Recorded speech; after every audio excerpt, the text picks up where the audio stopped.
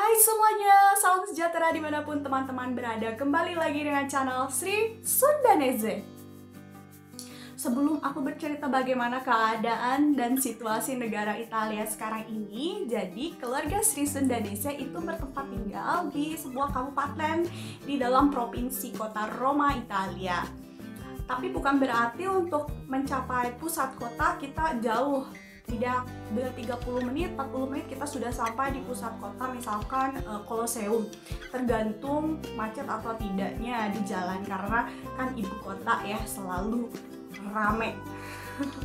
Dan situasi di negara Italia mulai hidup kembali mulai rame karena pemerintah membuka uh, apa kembali membuka kembali karantina. Jadi dibuka secara bertahap. Dan bulan ini adalah tahapan kedua membuka kembali uh, karantina untuk uh, situasi wabah ya. Dan sebenarnya dibuka kembali uh, apa aktivitas itu dari awal minggu pertama di bulan Mei dan momennya sangat bagus. Sudah lama tidak bertemu mertua aku. Kebetulan itu adalah hari ibu internasional uh, Mother Day internasional. Kita membeli kue dan makan kue bersama-sama di rumah kita di sini. Tapi dengan tetap mengikuti aturan dari pemerintah harus jarak lebih dari satu meter dan tidak boleh berpegangan atau berciuman. Karena kan biasanya salam-salam di Italia itu cium pipi cium pipi kanan dan itu tidak boleh. Jadi kita tetap bertemu tapi dengan jarak seperti itu.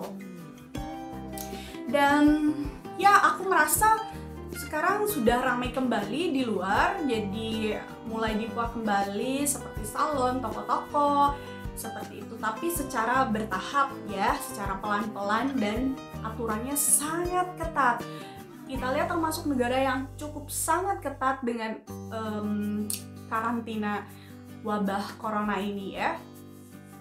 Termasuk aku kemarin sebenarnya udah uh, sebelum dibuka kembali lockdown ini aku udah perawatan gigi sih ke dokter gigi dengan membawa sertifikat bahwa itu darurat jadi aku udah berapa satu bulan setengah merawat gigi karena ada infeksi kanan kiri sakit banget sampai bengkak karena ada infeksi gigi giginya bolong dan yaitu pergi di dokter gigi setiap uh, minggu satu kali satu kali per minggu ya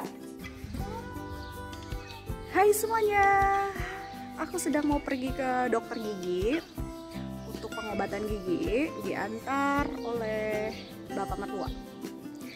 Aku akan ajak kalian pergi ke dokter gigiku ya, oke? Okay?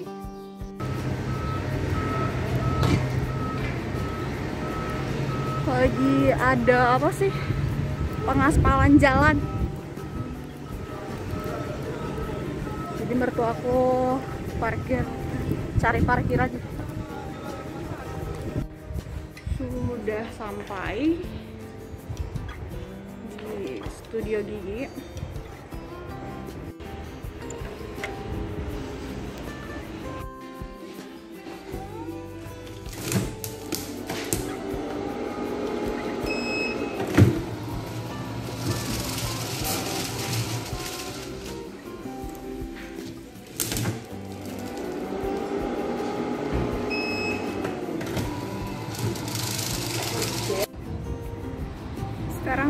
dijemput bapak mertua.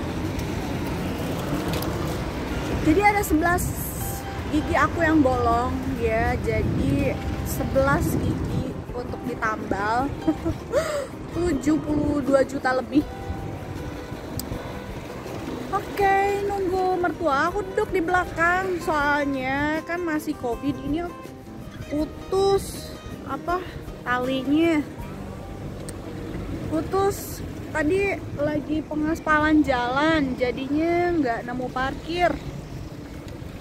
Karena tidak serumah jadi kalau yang tidak serumah itu harus berjarak satu meter kan selalu kan. Jadi aku duduk di belakang nggak boleh duduk berdampingan ya. Ini dia gigiku yang baru sudah dipasang crown katanya mau beli dulu rokok. Mau beli rokok. Mertua aku beli dulu rokok gitu. Seperti yang teman-teman lihat di video tagihannya mahal sekali sampai 72 juta lebih untuk mengobati gigi-gigi aku yang bolong.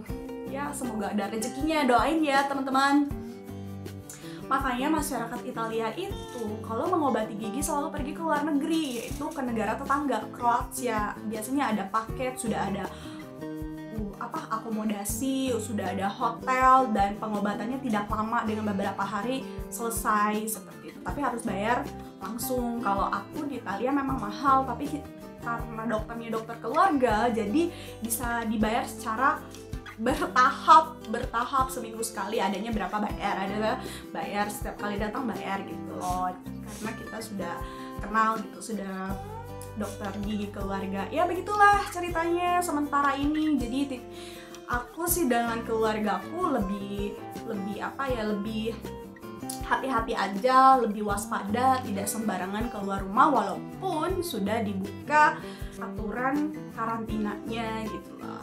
Ya seperti itu teman-teman. Oke okay, kita tunggu uh, saran-saran dan request dari teman-teman. Kalau ada yang mau request tentang Italia silahkan komentari dan terima kasih teman-teman sudah menyaksikan videoku dan jangan lupa untuk berkomentar like videonya. Sampai bertemu di video selanjutnya. Bye